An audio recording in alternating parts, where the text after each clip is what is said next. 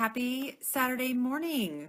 I am, okay, so I am trying this live thing again. And what I want to talk about this morning is finding fearless ambition.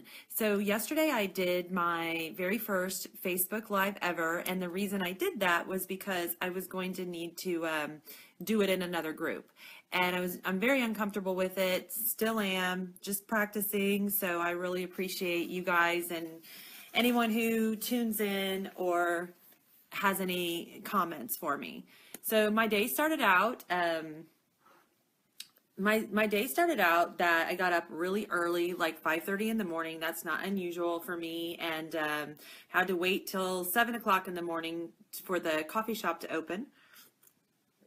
And then I went off to the office because I wanted to. Um, print out some things for the and here's how branding brand that we're getting ready to create um, between Roxanne and I. And um, I don't know, I ended up staying there for 90 minutes and I ended up um, writing something that I'm going to develop further into one of the newsletters.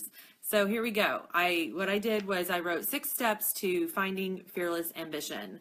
But before I talk to you about the six steps to finding fearless ambition, I want to talk about why um, why it is that people maybe don't don't find ambition. You know, what are the things that stop us from doing what we really want to do?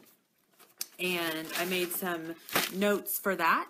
So I think that so often we set goals and we never we don't reach them. We don't even perhaps get started. And um, one of the reasons for that is that deep down inside we really don't believe that we're capable of um, achieving the goal. You know we we want to take massive progress but instead we let procrastination take over and we end up doing absolutely nothing um, so I hope to create some big aha moments and help you learn how to flip the switch in your head so that you can really, really create those things that you want to create.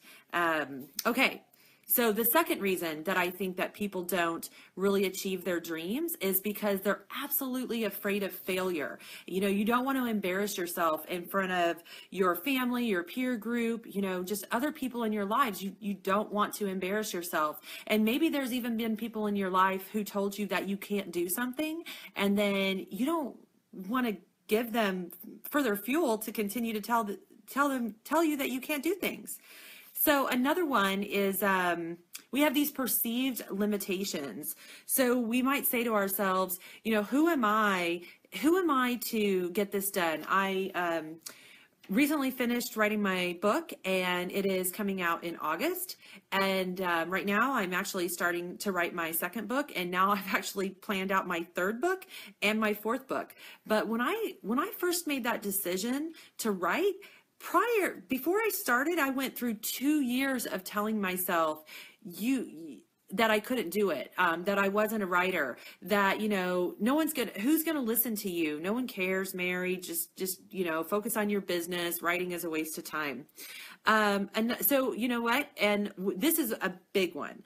I think a lot of reasons why people don't go for and achieve their dreams is because they simply don't know how. You know, no one's actually taught you the steps to take. So, you know, what are the steps to take to become a writer? What are the steps to take to become an entrepreneur? I'm I'm big on entrepreneurships, but what are the actual steps that you have to take? You know, what are the take what are the steps it takes to um I don't know, become a kickboxer. I mean, they're all different.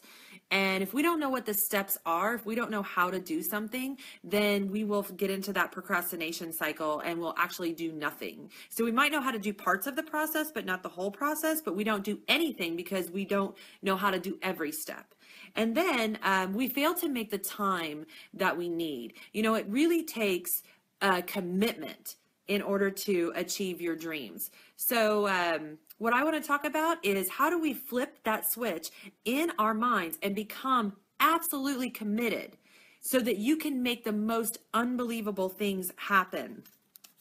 And um, so, the six steps to finding fearless ambition.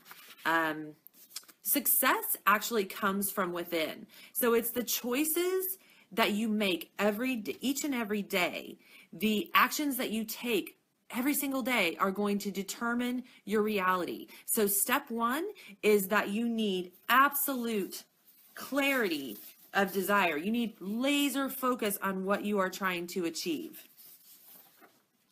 Step two is all about you. So, step two, all about you. It is who do you need to be in order to have, be, or do this thing that you want to succeed at?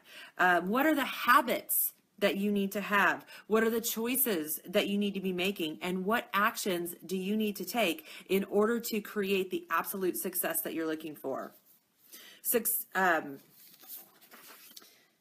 also, step two, you have to control your thoughts, your feelings, your words, and actions. They all have to be in alignment with your dreams. So uh, the, the the terminology of getting into alignment used to actually uh, confuse me a lot. I didn't understand what that meant, and um, I thought it was complicated. But the truth is that um, it's really very simple. You just need to think and control your outcomes by getting your feelings, your thoughts, your words, and your actions in alignment. Um, Um, that means that they those things support your dreams. Step three is all about your business. So what is your what is your business mission? What is the what is your business core values? What is the niche market of your business? And who is it that you serve? So at my business that I own, we serve mostly the healthcare community. So it's very important for me to understand the needs of my healthcare clients. You know, what is it that they need from me so that I can serve them in that way? Also, what is your zone of genius? What is it that you do that is better than anyone else that you know? Because the more time that you spend in your zone of genius, the quicker that you're going to achieve your success goals. Step four is all about creating breakthroughs. So, the most powerful moment in your life is the moment when you decide with intensity that everything is going to change right now. Because when you make that decision, what's going to happen is your thoughts are going to begin to change, your feelings are going to begin to change, your choices are going to begin to change, and you're going to take new and deliberate action that is going to support you in your goals. Step five is all about your belief system. So, beliefs is a big one because um, whatever it is that you actually believe is possible for yourself is about to the level that you will get. So, um, one of the things I get really excited about is talking about creating a menu for your life. And whatever it is that you want to have or want to achieve, you need to be sure and put that on the menu because the truth is that you cannot achieve something that you don't believe is possible. And step six is all about taking action and taking action to me means like so many times we have these great wonderful ideas and we actually just never take any of the steps involved to get us from where we're at now to where we want to be. So in your free downloads um, both dream with the deadline and ignite your dream they both end the challenges with creating an action plan. And so um, once you have once you create a plan and you set some uh, uh, deadlines and you actually take action every day in the direction of your dreams, what you're going to find is that you're going to be able to achieve these things so much faster. So happy happy Saturday morning, and um, I hope that you have found this very useful. Thank you. Bye bye. Hey, this is Mary. Thanks so much for watching. Check out a free chapter of my book, Conscious Communications, at maryshores.com forward slash free chapter. The link is in the description below.